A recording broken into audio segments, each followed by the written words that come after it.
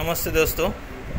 ये देखिए Vivo V fifteen pro model का एक mobile Vivo V fifteen pro model उस है उसका तो उस वो मोबाइल देखिए ऑन हो रहा है। तो उसका प्रॉब्लम है मोबाइल ऑन होने का बाद मोबाइल ज़रा सा हिलने से ही ऑफ़ होके फिर ऑन होता है। देखिएगा। ये मोबाइल ऑन होने के एकदम ज़रा सा हिलने से ही मोबाइल ऑफ़ हो जाता है, फिर ऑन होता है। देखिए। ये मोबाइल। ये देखिए, ज़रा सा हिलने से ही मोबाइल ऑफ़ हो जाता है। उसका प्रॉब्लम है ऑन ऑफ़ ये देखिए, उसका बैटरी भी ओरिजिनल नहीं है। दूसरा एक बैटरी लगाया है। सेंसी कौन सा कंपनी का बैटरी लगाया है तो पता नहीं, देखिए। तो पहले हम वो बैटरी को चेक करेंगे कि बैटरी खुल तो हमने ये जो बैटरी है सेंसी हाई कैपेसिटी वाला जो बैटरी था, दूसरा कहाँ से लगाया था तो पहले हम ये बैटरी को रिमूव कर देंगे। देखिए हमने रिमूव कर दिया। तो बैटरी रिमूव करके ए, हमने एक दूसरा बैटरी लगाऊँगा। तो हम दूसरा एक नया बैटरी लाया था देखिए। Vivo V fifteen pro model का बैटरी है।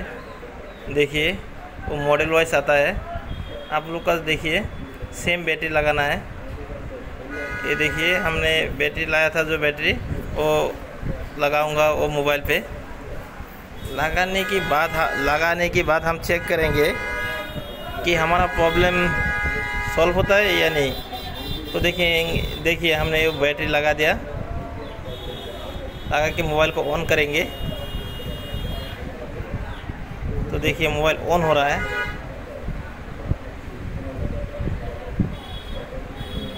देखिए।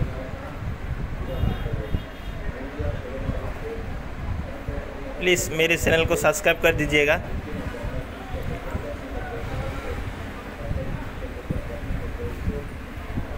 तो देखिए, मोबाइल ऑन हो रहा है।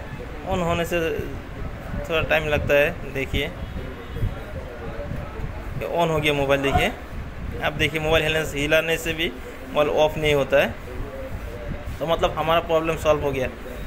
तो ये जो प्रॉब्लम था, वो बैटरी से आया था। तो देखिए प्रॉब्लम सॉल्व हो गया। तो ये वाला प्रॉब्लम ज़्यादातर बैटरी से ही आता है। दूसरा बैटरी जो ओरिजिनल बैटरी है, उससे प्रॉब्लम आने से ना, उसके नीचे बैटरी के नीचे एक कैपेसिटर है, उसको हम शॉर्ट करने से ही शॉर्ट करने से प्रॉब्लम सॉल्व हो जाता है। तो देखिए, हमारा प्रॉब्लम सॉल्व हो गया।